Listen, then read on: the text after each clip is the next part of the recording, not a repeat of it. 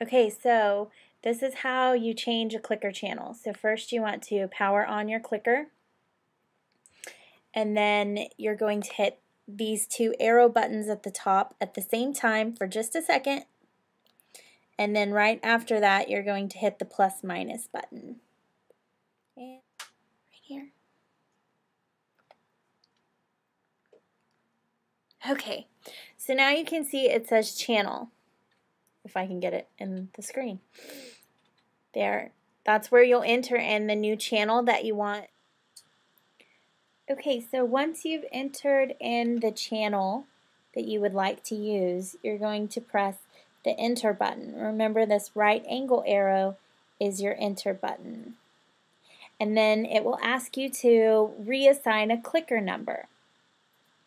Um, remember, if you're adding more than 32 clickers to a class set, you're probably also going to want to reassign the number on the top with a different sticky, um, just so students aren't getting confused or mixing up their numbers.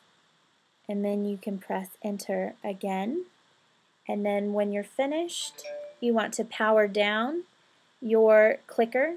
And then when it restarts and is connected with the new dongle on the proper channel, everything should work uh, correctly.